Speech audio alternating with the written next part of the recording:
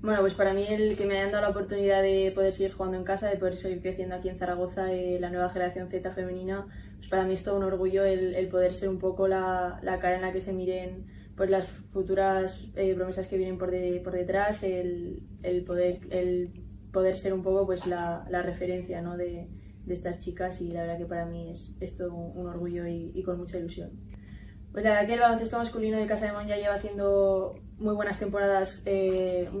muchos años, y estas últimas temporadas han sido increíbles y a la hora que, que, puedan acoger al baloncesto femenino, pues creo que ha sido un boom tanto para la ciudad como, como para todo el mundo el, el poder eh, compartir club con ellos, el, el, poder estar con ellos y creo que,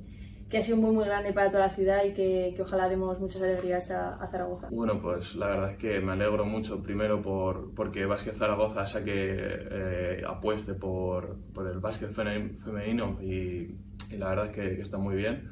Y, y, sobre todo que también apueste por, por la gente joven como, como Zoe, que, que, la verdad es que ha trabajado para llegar a, a donde está y que la verdad es que se lo merece. Bueno, la generación Z, pues eh, yo personalmente pues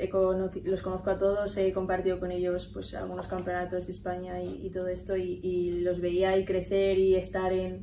en la élite, llegar alto y decías, joder, que bien se está trabajando en Casa de Mon, que pues, al fin y al cabo te sientes orgulloso ¿no? de ellos, al final son gente de Zaragoza, gente que has visto, que conoces desde pequeña y que lleguen donde están llegando, pues la verdad que es todo un orgullo. Soy más de día a día, pero sí que es verdad que, que estoy muy ilusionada con el proyecto, tengo muchísimas ganas de empezar, eh, creo que es una oportunidad muy grande eh, la, que, la que tiene ahora mismo Zaragoza y, la que se me ha dado a mí, el poder seguir creciendo aquí, eh, pues ojalá el primer objetivo que tengo para el año que viene es seguir creciendo, seguir mejorando aquí en casa y ojalá sí que somos un equipo nuevo, entramos en la liga nueva, pues entramos con, con humildad, pero con mucha ambición, sabiendo que, que lo podemos hacer bien y, y ojalá se, se dé un buen año.